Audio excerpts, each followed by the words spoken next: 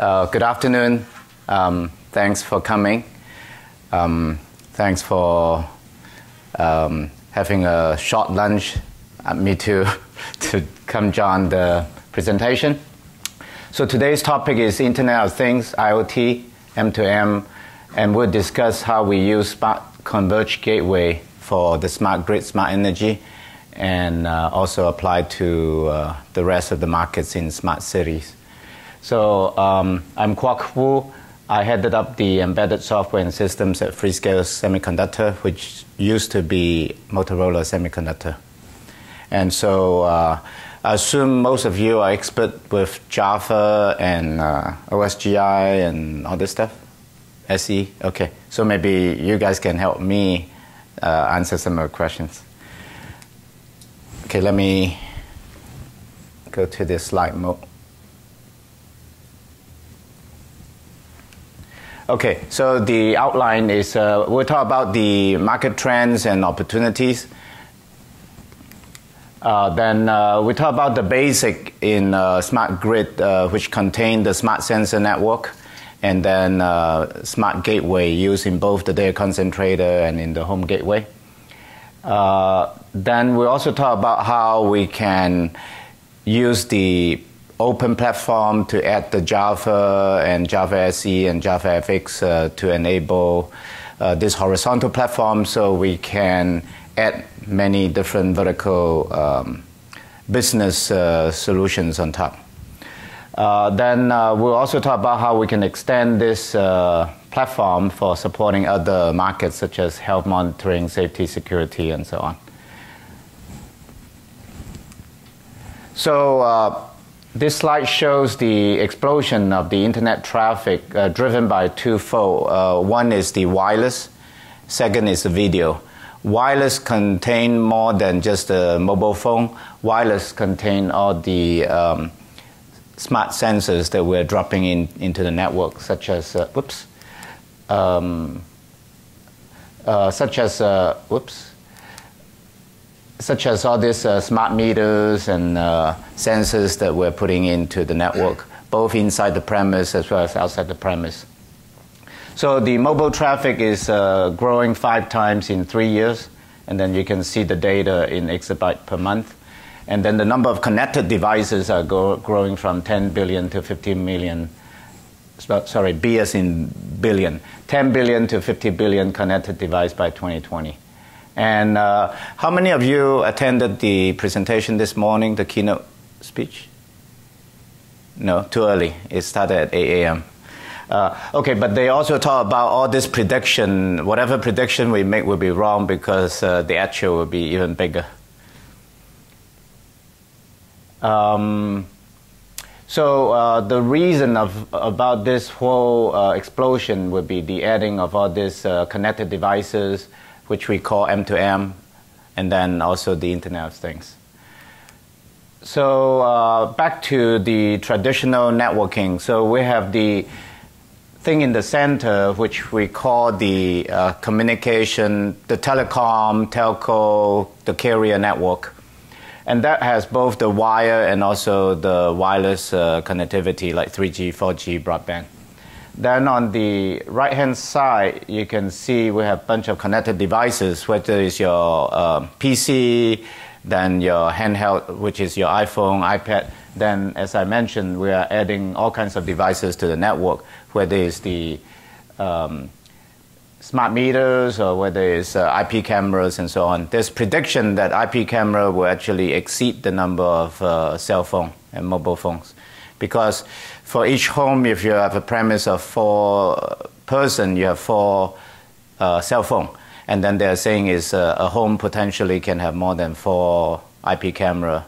You can have uh, three inside the home and three outside the home and so on. So uh, then we talk about how we can do the intelligent or smart networking. Uh, so if each of these connected devices to directly access the core network, whether it's through wire or wireless, the core network will not have enough capacity to handle. Therefore, at each premise, you always have some kind of smart gateway. The simplest one is a smart router, but most routers are single function It only connect to a computing device. It doesn't connect to a sensor device. So smart gateway in the future will have the ability not just doing Wi-Fi connectivity, but also have um, the sensor connectivity, which we call WSN, wireless uh, sensor network, connecting to all the sensor devices. So you will see all kinds of uh, smart converged gateway at all the different premises, which is uh, residential, uh, industrial, enterprise, and offices. Industrial cover factory, building, uh, and uh, of course smart energy, which will go uh, into some discussion. Um, then residential, I cover the that mobile, I meant the transportation, the car. The car, if you will, is your second home. So, but it's a moving home. So you will see all this gateway everywhere. So that means smart gateway can go onto your buses, your train, your, your uh, cruise ship, and so on. Okay, so now um, we will go into the uh, energy segment. Uh, within the industrial, you can have energy segment, you can have uh, medical segment. So let's talk a little bit about the energy segment. So uh, before we do that, uh, here's another picture of a smart connected cities or smart world. So again, on the left-hand side, you see smart connected cars, smart connected home and buildings, smart energy. There are two parts in the smart energy. One is the we call the AMI, Advanced Metering Infrastructure.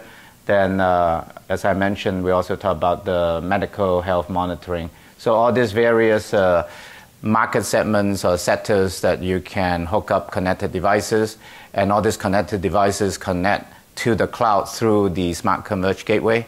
And once you have this horizontal platform, which we'll talk about enabled by Java, OSGI, then it will make it easy for all the businesses to add vertical segment solutions or vertical applications software. Uh, so uh, on the connected transportation, on the upper left, I talk about asset tracking. Asset tracking can be tracking uh, uh, goods, but it can also track human being like kids or elderly and so on. Uh, and then uh, for the factory and industrial that cover agriculture. So you can basically imagine anything you see in the smart cities can be all interconnected. So we talk about interconnecting and co- intercooperating uh, among all these objects, if you will. Any questions so far? Okay, so let's dive in into the smart energy. Um, so um, the smart energy, I will show that there are three different topics, if you will. The first topic is called metrology in the middle. Metrologies are meters, whether it's electric meters, gas meters, water meters. Gas meters and water meters are called flow meters. It, it detect the flow of either water or gas. While electric meters is sensing the consumption of electricity. So, so again, it's just replacement of different sensors. Then uh, the utility company, the first thing they do is to install smart meters in your home. Uh, then uh, they started with something called AMR, Advanced Meter Reading, which now will be replaced by what we call AMI, Advanced Metering Infrastructure. So the difference is with the AMI, you no longer need to, I hope this was long enough, you no longer need to send a meter person to drive the car close to your meter. So it would be all aggregated automatically by what we call either data concentrator or data aggregator, which usually is uh, installed on the utility pole uh, in your residential area. And each uh, data concentrator can probably aggregate about a thousand meters. And so in a city, you, you can imagine each high-rise building will also have a couple of this data concentrator within the building. So it can be inside the building, it can be outside the building. But usually data concentrator are ruggedized, they uh, are weatherproof, uh, waterproof, so the enclosure uh, will be uh, tougher. And uh, the components we put in there are usually extended temperature range uh, not not the regular commercial. It's called industrial core rather than commercial core. So then, so that take care of the utility company. They install that uh, their concentrator help do the automatic meter reading, but it's a bidirectional interface. So it's not just aggregating meter reading, but they also can assert control, which we call demand control and load shedding. We'll talk about that next. Um, then on the right hand side is when you push inside each premise. Each premise now has a bunch of appliances that will be all connected. And how does the owner of each premise be able to do remote monitoring control of those appliances? Um, so I don't see Bill Gates here. I would like to make fun of Bill Gates. So for him, it would be uh, controlling his uh, hot tub jacuzzi, or, maybe Larry Ellison. Maybe I should make fun of him. For Larry Ellison, it would be uh, taking care of his swimming pool. For Microsoft, it would be uh, Bill Gates. It would be his uh, hot tub jacuzzi.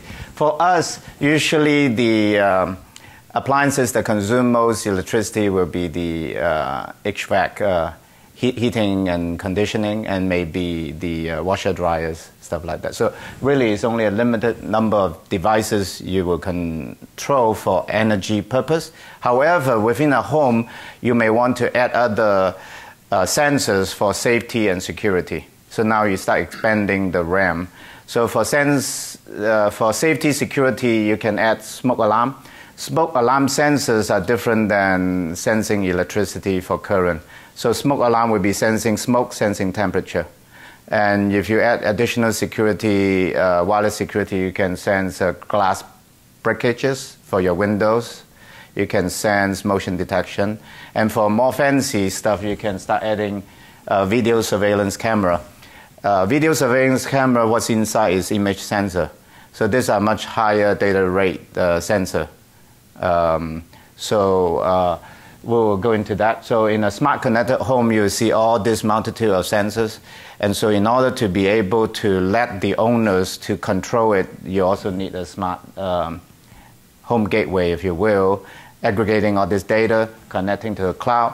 While you're away from the home, you can still do remote monitoring control.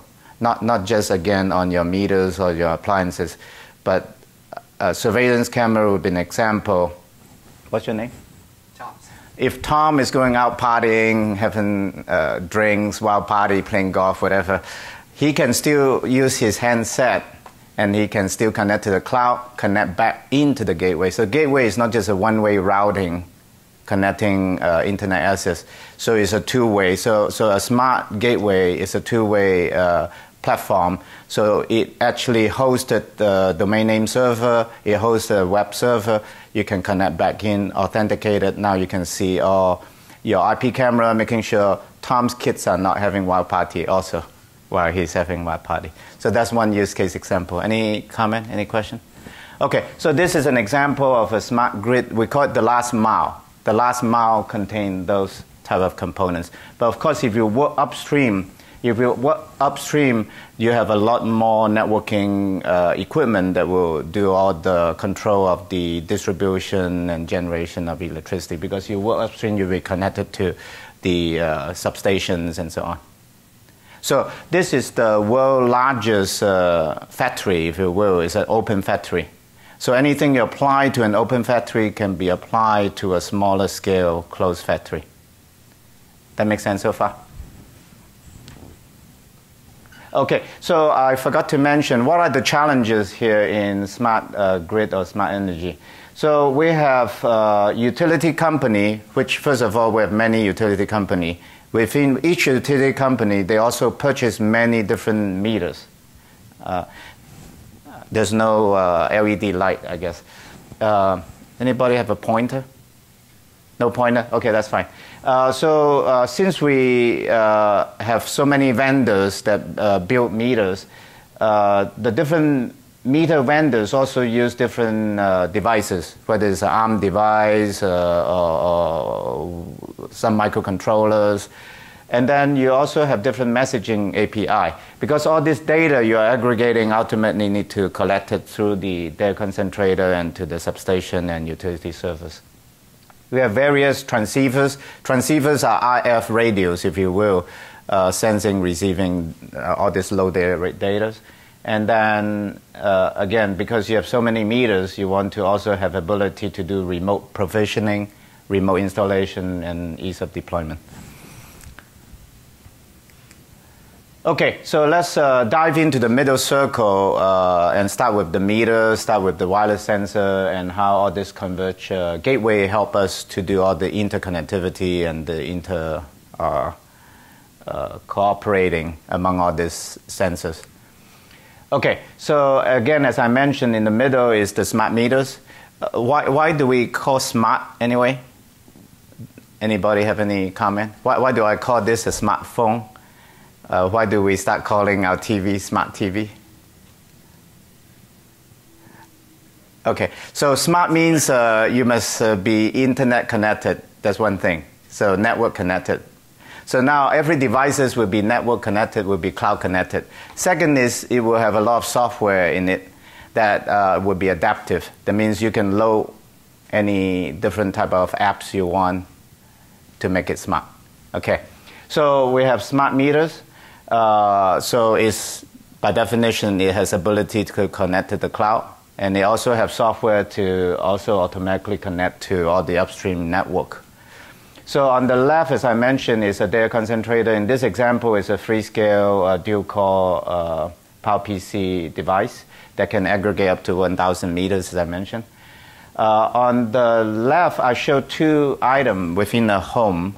Uh, one is a smart gateway that, as I mentioned, can connect all your sensors, your video surveillance camera, and also all your internet access, all your residential um, gateway functions, if you will. So you can do DLNA media streaming, you can do uh, VoIP uh, phone call, you can do uh, video surveillance, everything. So not just smart metering.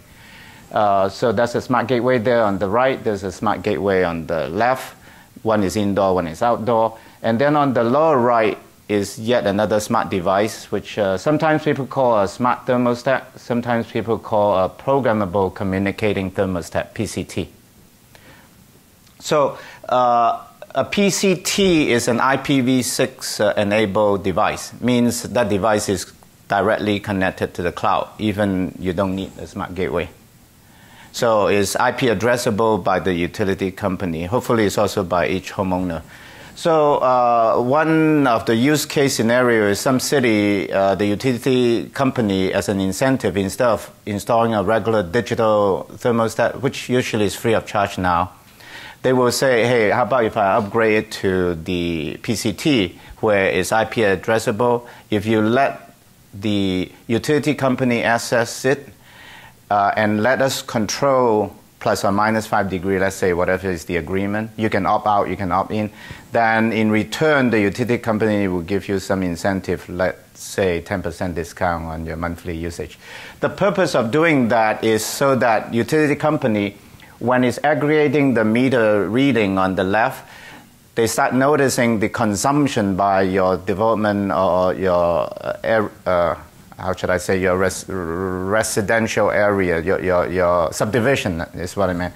If they notice your subdivision start having more consumption than the supply can handle, there's a pending brownout once they notice that there is a pending brownout, they have to prevent it because the cost of having a brownout is very expensive, especially in a big city like San Francisco or Manhattan, New York. Especially Manhattan, New York, when it goes down, then all the um, stock trading will be impacted. So it's millions of dollars of losses. So uh, the incentive is for utility company to prevent brownout. brownout. So once they sense that imbalance, they have to do load shedding when they do, do load shedding, there are two forms. One is they can send messages to your meter, increase your tariff rate. So that's called peak tariff rate. Some cities apply that, some cities don't. So once they detect it, they can increase the peak rate, and then your smart gateway can notice it. Once your gateway notices it, you can defer energy consumption, such as you can defer using washer dryer, defer using your hot tub jacuzzi for an hour maybe. Um, or if you have a smart thermostat, you can also allow, because sometimes you're away from home, you're on vacation, you can also allow to let the utility company to adjust your thermostat, dialing it down by five degree or something. So that's how the whole network work. So again, it doesn't need to work with human being interruption. It can uh, work automatically by all these distributed uh, gateways because it has embedded software there, so it can just do the uh, adapt, dynamic uh, adaptive adjustments in real time. Any questions, comments so far? Okay, so uh, I, I put something, uh, I, I put AMI, Advanced Metering Infrastructure on the left. That's the incentive from the utility company. I put demand response load shedding, how we can handle that on the localized per premise basis. But of course, on the left hand side, uh, since the utility company are also dealing with a network of um, uh, all this uh, data concentrator, they can also do some dynamic load uh, balancing uh, out, out there upstream, not, not just local. Um, so on the uh, lower side, I give an example of a smart thermostat. How many of you heard about Nest?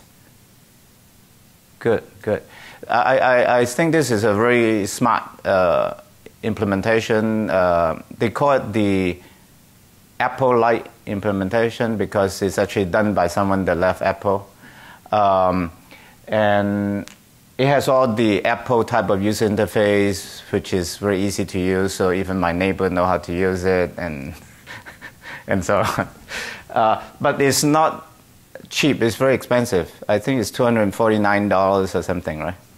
But but it can do a lot of stuff. It it, it has uh, learning ability. It can learn your usages and. Uh, um, it, uh, it can tell you uh, time to uh, when you set uh, a certain temperature it will tell you how long it would take to adjust to the temperature that you want. It will tell you whether you are on um, energy saving mode where a, a, green leaf will pop on if you are saving energy this stuff.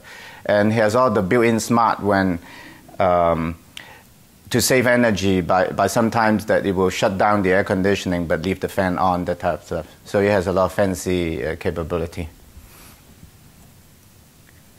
Okay, so let us talk uh, a little bit about all this wireless. Uh, remember, I mentioned that all these sensor devices uh, has to be interconnected through wireless sensors. So wireless sensor has many form, and so uh, let's talk about the different data rate, which is the performance on the left-hand side, and then the ranges, which is the distance you can cover. So we are all familiar with the cell phone, which is the 3G, 4G. It has a long range distance, but it's actually low data rate. So you can do 2 megabit per second. Maybe you can sign up for up to 10 megabit per second. That's 3G, but 4G LTE is coming. So Freescale is involved with all the 4G LTE development. So it's supposed to go up to uh, 100 megabit per second. So that's the uh, cellular broadband connectivity. Then uh, on the center, the big circle, is the Wi-Fi connectivity, which has evolved from 802.11a and b to 11n. 802.11n can give you um, 100 megabit per second on a 2x2 radio, up to 300 megabit per second for a 3x3 radio. And then 802.11ac is coming, which gives you 1 gigabit per second wireless. So these are your high performance wireless local area network for your premise, for your office, for your home, and so on. And this one has much higher performance than the cellular broadband. You can tell it's a 10 times difference in performance, but then it's short, shorter distance. That's the trade-off. On the lower lower bottom, I show two type of uh, radio. There's the Bluetooth, which we are familiar with uh, dealing with uh, streaming songs, uh, music player, doing uh, connection of the cell phone through uh, us through Bluetooth headset and so on. So that's the Bluetooth capability. Of course, uh, people are also extending Bluetooth to call Bluetooth 4.0, Bluetooth low power. Um, that try to lower the power consumption further, but the distance-wise is the shortest distance coverage. Then here comes Zigbee. Zigbee is a sensors that can range from 2.4 gigahertz all the way down to 868 uh, or 900 megahertz. So it has a variety of uh, frequency range, and then it gives you a much longer distance than Bluetooth, and therefore is more suitable for connecting multitude of different sensors. And of course, performance-wise, it's lower performance than your wireless gateway. So now what you envision is you have all these objects or devices, meters and um, I don't know what kind of sensors, smoke alarm, uh, whatever, now need to be connected. So it would be hard for them to connect directly to the cloud, which is up there, which we call the WAN, uh, uh, wide area network. So usually then you can connect through the WLAN, wireless local area network, and that will connect to the WAN, to the cloud for you. Um, so what's uh, the, the, the sensor network usually is a mesh network. So all this sensor can be all interconnected together as a mesh. Uh, and sometimes we call it the PAN, Personal Area Network. And this is uh, basically a wireless sensor network. Why, why we call, uh, why, down, uh, first of all, um, down here, this mesh network sometimes is also called resilient network, self-healing network. So let me give you an example. If I have a bunch of smoke alarm here, uh, some in the first floor, some in second floor, some in east wing, some in west wing. If one sensor detected fire, and but then it's trying to relate the messages to the controller, the controller could be downstairs on the first floor. It will try to relate, but then if you find out on the north wing the sensor is down, it will reroute and go to another sensor. So it will find its way dynamically routed, and then it will connect to your uh, controller, which will dispatch all the messages to 911 or, or whatever, uh, fire trucks and so on. Um, so, uh, so far so good about mesh networking. Okay, so it's called an adaptive network. WLAN Wi-Fi network usually is called an ad hoc network. So usually it's not interconnected as a mesh network, but we can also interconnect uh, all the wireless network together. We call them an access point. When you start interconnect multiple access point together, you can bridge them, you can repeat them. So we can also form uh, a network. So in most offices, we have a network of access point. Um, so that's the general picture. So uh, with Wi-Fi, a local area network, you usually have much higher bandwidth. You can handle video surveillance. So usually video surveillance cannot be handled directly by the sensors. Um, and then there's actually a third axis, which is called power consumption. So, so of course, when you deal with sensors, this has to be long battery life.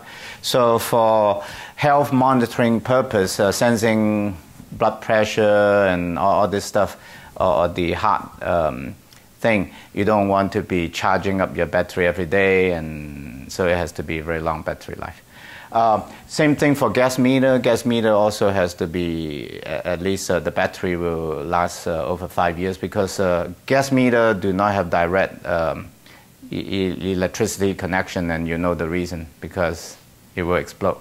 So uh, gas meter will have to have long battery life also, whatever sensors you put into those. Um, that makes sense so far? Any questions?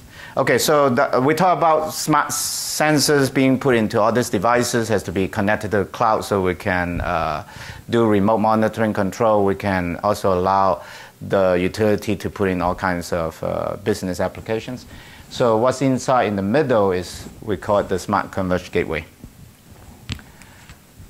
Okay, so Freescale also offer different type of uh, sensor devices at the uh, sub-gigahertz level. As I mentioned, you can do the 800 range, 900 megahertz range.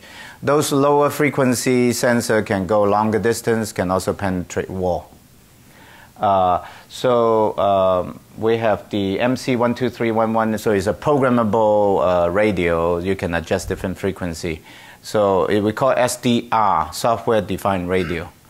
Um, and then we are also coming up with a Cortex M0 base uh, um, sub-gigahertz uh, radio on the lower right.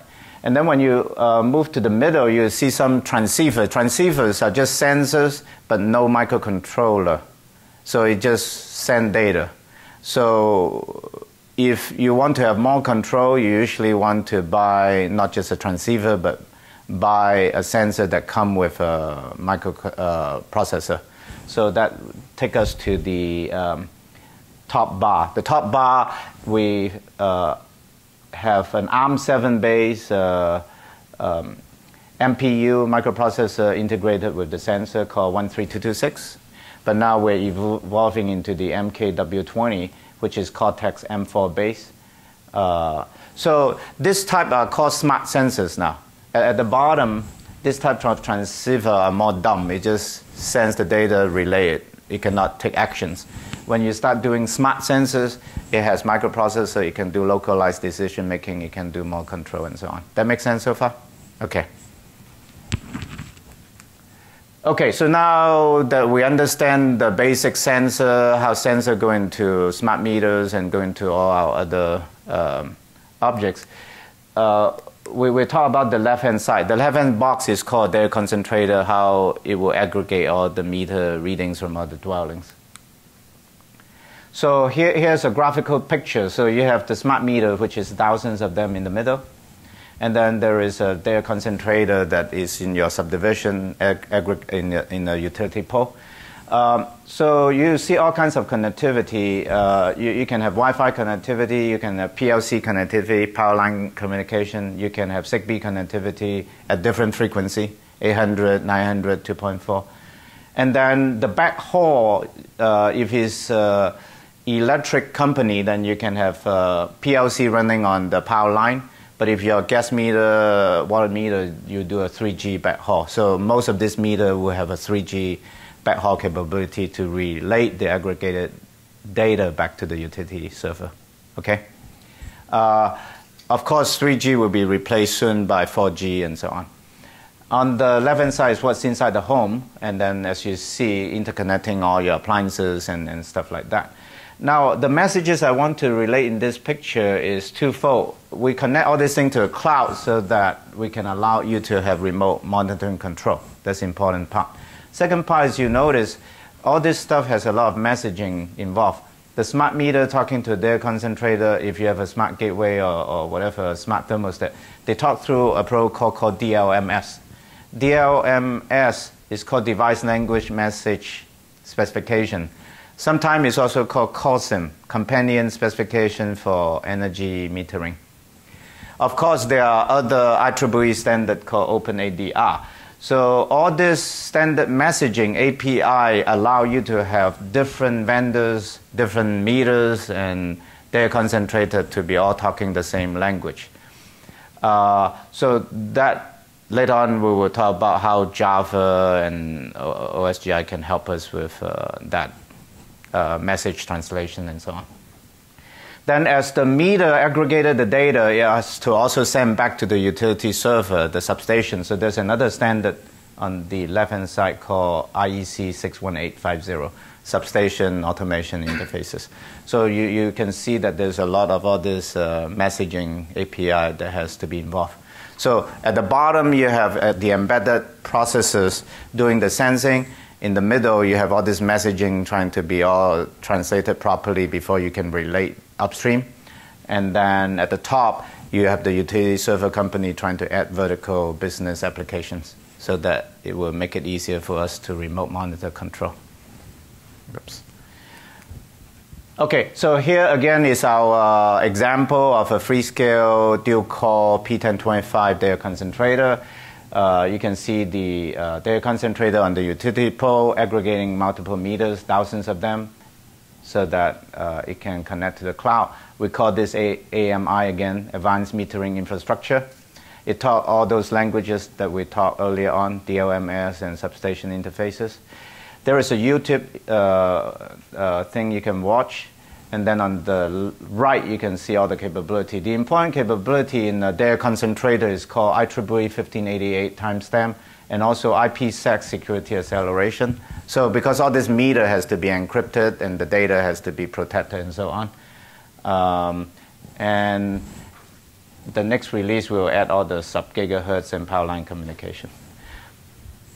So which version of Java is running? Is that like the Java embedded SE that we recently heard about? Yeah, yeah. So I will show you the example SE, and then for the handset, uh, when you want to monitor, then you can have the Java FX running on your tablet, for example. So let me play um, play a video real quick. Uh, I hope we have time. Whoops. Um, so this way I can let you guys watch. Is it coming up? Is the sound on? Hello, everybody. This is David Rosado, and we're here to demonstrate the Smart Energy Data Concentrator featuring the P1025 QorIQ device. The Smart Energy Reference Design Data Concentrator is the latest addition in the distribution and smart management of energy in the growing smart grid era. These, as you will see, the data concentrator will be capable of discovering smart metering devices, communicating with them flawlessly via various protocols, and transferring that information to the utility servers.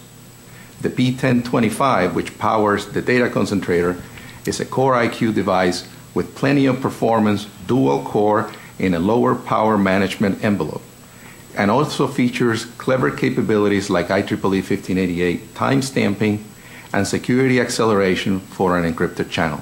Without further ado, here is a demonstration of the P1025 data concentrator. Hi, I'm Kwok Bu. I heads up the NPD Networking Processor Division's Segment Solutions Lab. Today I'd like to show you the QorIQ P1025 data concentrator used in the smart grid. I will show you the functionality and performance, and there are three things I'd like to show. Number one is the real-time energy monitoring, whereby the P1025 is a high-performance wireless secure router. It can connect to multiple meters, which is thousands of meters. It can aggregate the meter readings in real time such as, uh, for example, shown here on the screen. You can see all the power meter readings being sent back in real time to the utility servers. And then on the screen on your right hand side, you can see that as all the meter reading get accumulated, the energy consumption patterns get stored and displayed by the hours, by the days, by the weeks, where the um, consumer can access anytime, anywhere all these consumptions. And now I will get to point number two. The P1025 data concentrator also enable the utility company, due to a pending brownout, can send messages to each smart meters, which is each smart home, and in addition can also adjust the uh, tariff rate.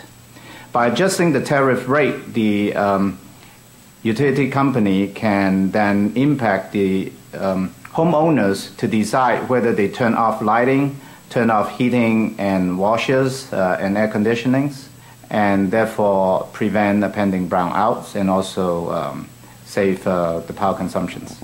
Number three, I'd like to summarize by saying that the P1025 data concentrator is a high performance wireless 3G broadband enabled router. Uh, is equipped with IPsec, equipped with IPv6, uh, it handles all the multiple level of wireless connectivity such as Zigbee, and then we also plan to add the PLC power line com communication and the sub-gigahertz RF uh, connectivity. For further information, please feel free to contact freescale.com slash smartenergy. Okay, so let's continue, uh, move on. Um, so uh, What's inside the home is uh, uh, a smart home gateway, as I mentioned, that can allow you to um, monitor your uh, uh, energy consumption by each appliances, control them on and off. You can monitor security, safety. You can uh, monitor your smoke alarm, monitor your video surveillance camera. You can do all kinds of home automations. Um, so within the home, you can have a smart gateway, but you can have a simple device uh, as much as on the right-hand side, just displaying energy consumption, but no control. Or somewhere in between, which is just a home energy manager, like, like, like the smart thermostat that we look at in the middle here. So this usually we call the HAM, the smart thermostat control. So you can have different type of energy uh, management devices. So uh, a smart gateway will be able to perform all this capability, um, connecting to all your appliances uh, on the left, uh, connected to the cloud, give you all the local area network capability, video surveillance, and all this stuff. Uh, this is the box that showed uh, this smart uh, home gateway um, box. Uh, basically, it's a converged gateway that can handle wireless sensor network connection, which is Zigbee sensors, Wi-Fi connections, 3G connection, and all, all them, of them combined. Okay, so uh, this gentleman was asking uh, on the Java demo, what did we do?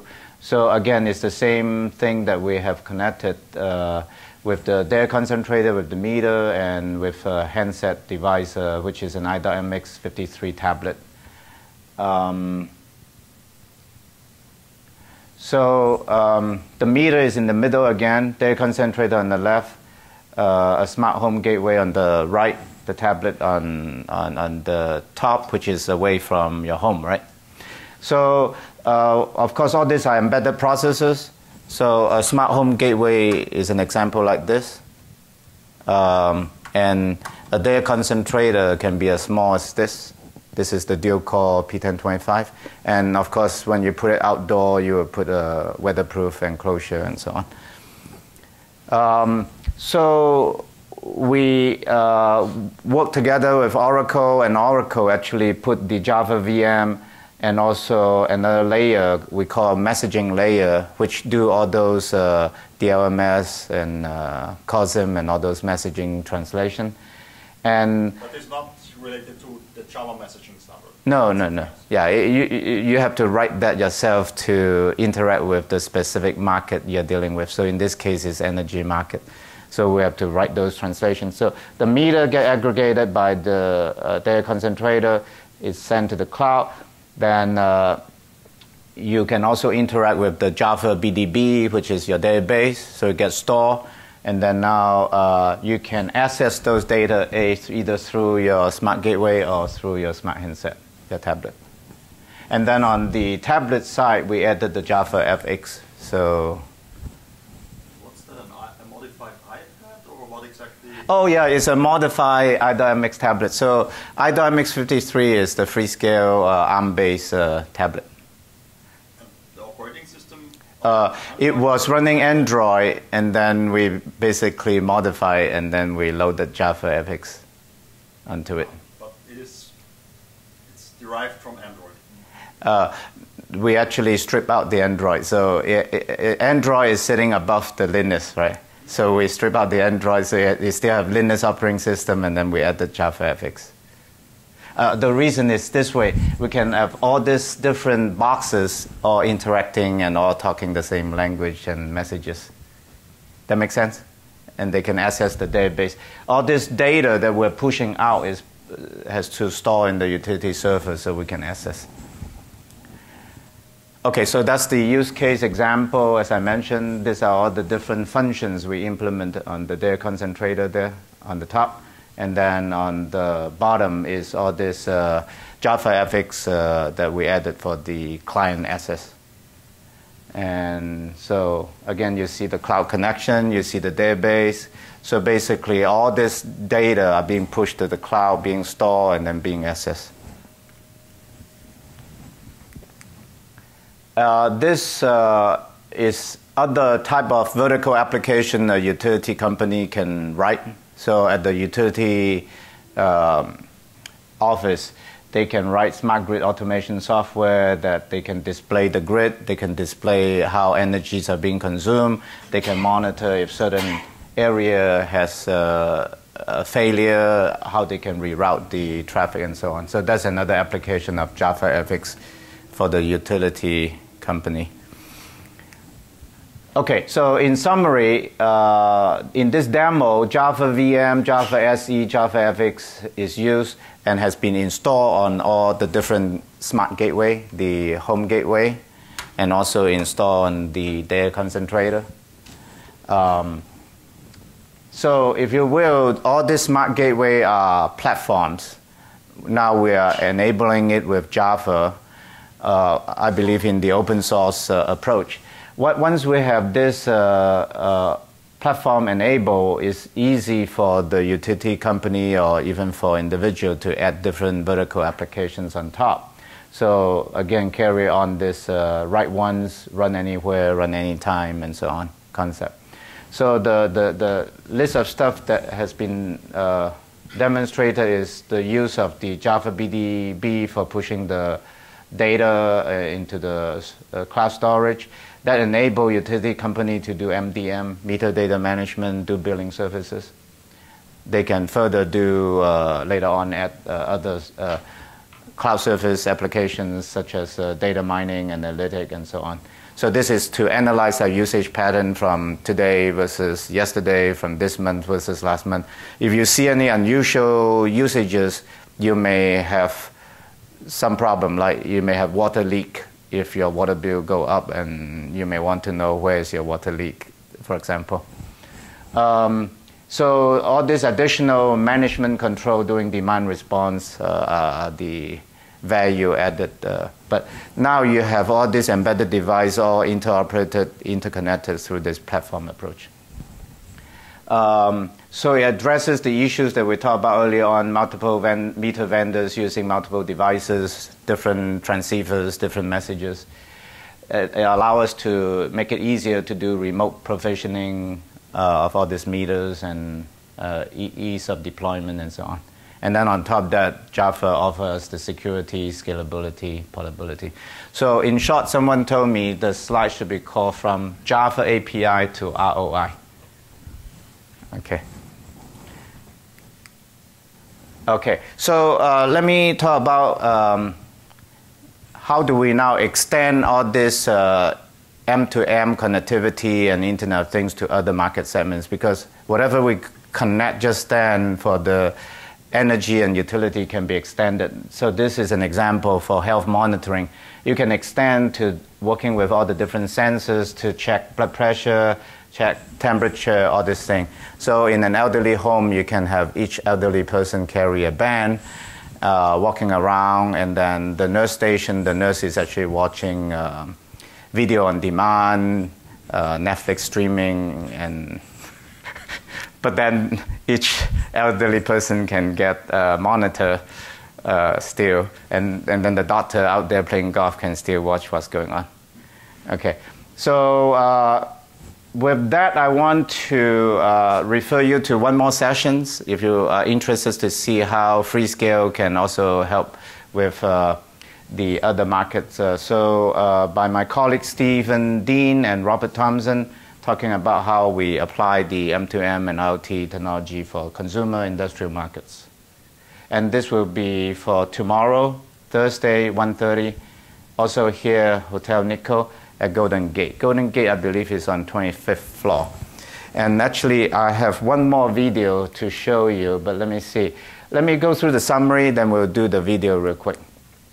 So again, we talk about the concept that there's no just one single cloud called homogeneous cloud out there. There will be many local cloud. A cloud in your home, a cloud in your clinic, a cloud in your office, a cloud um, in your car, whatever. So all this local cloud, you need to have smart converged gateway that can connect to all these devices through all this sensor that we talk about. Um, so we talk about you can apply to all these different segments. Again, the key is how connecting you to the cloud allow you to add vertical applications, allow you to have real-time monitoring control. You can see all forms of wireless and wire connectivity on the left. So that's how the smart gateway help you handle all this. Uh, so let's talk, talk, a little bit about IoT and IoE. Once you have the M2M connectivity, once the smart gateway allow you to connect things and objects, so now you want to deploy cloud services, basically. So on the lower left is simple tracking, tracking of assets. Assets can be goods, assets can be uh, people, like kids and elderly. And you don't want the elderly to be wandering out shopping and they cannot find their way home. So that's tracking uh, or asset management. Then you can have security safety. You can add uh, something called context and location aware services. So where you go, then you, the smart sensor will know for where you are going, what are the nearest uh, bank, what's the nearest gas station, and whatever was the nearest movie, and so on for you. So these are called location-based services. And context aware means you even can detect your mood and dep- depending by sensing your uh, ESP, I guess. Um, you can extend this thing to call gesture-based interface, or, or it's called uh, augmented reality. So you, you, can extend this to um, a lot of stuff, basically. Um, then we talk about remote monitoring control. And then ultimately, we call this distributed embedded intelligence. We, we are talking about kinetic intelligence. Uh, we talk about not just having a simple RF radio in the sensors, just transmitting data, collecting data. We talk about putting in a cheap, low-cost microprocessor where now you can enable each of the sensors to do distributed local intelligence. You can do is local data mining, is local decision making, and so on. So that's the trend. So this trend is called pervasive, ubiquitous, collaborative computing. So uh, we see Java, VM, and OSGI. All these are basic platform enablement that allow us to put that in each of the smart gateway and smart devices, and allowing us to have interoperating uh, nodes or, or, or, devices, if you will. Uh, any comments? Any questions? So again, uh, I have uh, terminology IoT and M2M. I change it to uppercase M. So it's not just machine talking to machine, it's machine talking to human being. So it's us. How do we interact with all these objects uh, in an intelligent fashion? And again, applying to not just smart energy, but smart homes, smart cars, smart buildings, and so on and so forth. Okay, so in summary, we talk about how a smart city, smart world can apply M2M connectivity, apply IoT, and then we added the Java technology to help us implement connected intelligence. We call it edge to enterprise. Edge are all these nodes at the endpoint. Enterprise is the backend, your utility server or your core network in telco, telecom. So by doing these connections, everything connected to the cloud, then we can enable all these cloud services, which we call B2B to C, means everything connected, right? Business to business to consumer. And you can now quickly and easily add different uh, business vertical solutions to connect all these things together. So that's my prepare uh, presentation, and I have one more um, uh, PowerPoint, sorry, one more uh, YouTube video to show you uh, if you guys have time. So uh, this one, I'll show you the uh, smart home, smart connected home. Okay. Hello, I'm Nick Sargalogas. I'm product manager for the MPC 8300X product family. Today we're going to talk to you about the MPC 8308 Network Smart Gateway reference design. You see here the actual so platform, which allows applications such as uh, home, home uh, energy, uh, communicating over Zigbee to a smart meter. Uh, we also can support applications like home automation, where we're using here a smart plug that has a Zigbee radio in it, communicating to the platform. Uh, we use the MP, MC13226 Zigbee radio, and I will be I can turn off an appliance using uh, the smart plug from the uh, network smart gateway by sending a command wirelessly to the gateway to turn off this light, which I'll do right now. Okay, uh, so what you've just seen is this tablet uh, connecting over 802.11 to the network smart gateway, the network smart gateway communicating over Zigbee to the smart plug, which allows us to control this appliance. Other appliances that could be controlled include things like this washing machine, uh, air conditioners, or other devices. Uh, this allows uh, the user to be able to control the demand that they have for electricity, reducing their overall consumption. Using the 802.11n radio that the MPC 8308 Network Smart Gateway features, we can also stream high definition video. This is coming off of an SD card that is in the Network Smart Gateway and streaming 802.11 to a Google TV you see uh, featuring 1080 uh, resolution. For more information about the MPC 8308 Network Smart Gateway, please visit www.freescale.com slash smart energy. Thank you very much. So, uh, are there any questions? Yes. the links to the videos. The video links, yes. Uh, So, are you, yes, uh, here's the links to good, good uh, setup, good questions. There are two links to our data concentrator and smart home gateway. There's also the next presentation tomorrow on the um, extending all this M2M IoT to the medical segments and industrial segments and uh, consumer segments. Tomorrow, 1.30. they're also talking about medical tomorrow. Tomorrow, talk about They're also going to talk about medical use cases. Yes, yes. They will actually expand my single, um, the home health uh, monitoring into more detail. Uh-huh. Yes? So I have a question. Um, how well is this product line being received? I think the dream of the intelligently sub-metered and intelligently controlled home, it has been a long time coming, and you know I think utilities have been slow to adopt that, um, at least in the past. How how well has this been received? Yeah, that's a good question. Um, utility company, their motivation is more driven from the outside. So they don't want to push anything inside the home. They, they are not good at doing that. So they put the smart meter there so that they enable them to do AMI. So obviously AMI is a big business, it's B, billions of dollars. So it's not M. So they already are seeing the benefit of implementing an AMI. That, that, because all these sensors, people call it neural networks, right? The key thing for them is not just meter reading, eliminate the need of sending a meter person, right? Is for doing demand response control, is preventing brownout. So it's more political than economical, but I hope it will also bring economical reason. Because if you are the mayor of uh, New York City and Manhattan, your motivation is not to get publicized with brownout.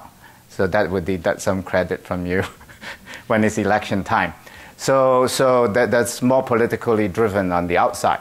That's utility company. What's going inside the home? Back to your question about what's the motivation for smart home.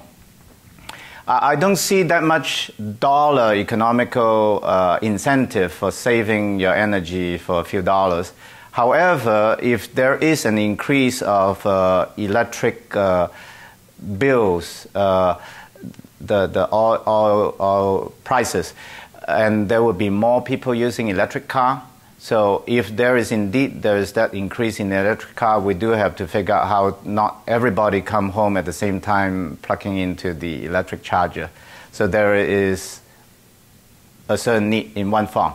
So the other form of smart home may not be electric uh, energy related. It could be uh, safety, security related in a smart home. So therefore, those provider will not be a utility company. It may be more driven by A, either the ATT, ADT is the security company, or B, uh, service operator like the AT&T, Verizon. So for inside the home, you will see those provider trying to push a smart home. So they will try, their incentive is try to add additional services for you. So the telco and the service operator will not be just offering you IP internet network access or digital phone access.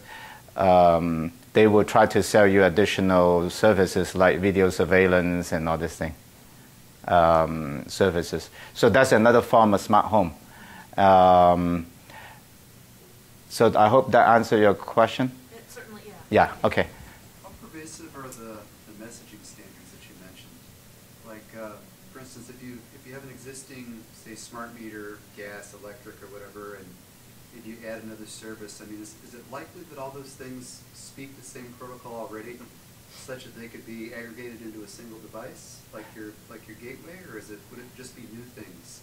Um, there are still evolving standards going on. The question is, uh, what's all this messaging API and standards and protocol? So in terms of the physical layer, we have the protocol standard like Zigbee 1.0, Zigbee 2.0. So I think we are all converging into a physical layer of standard protocol that has to be IPv6 compliant. Um,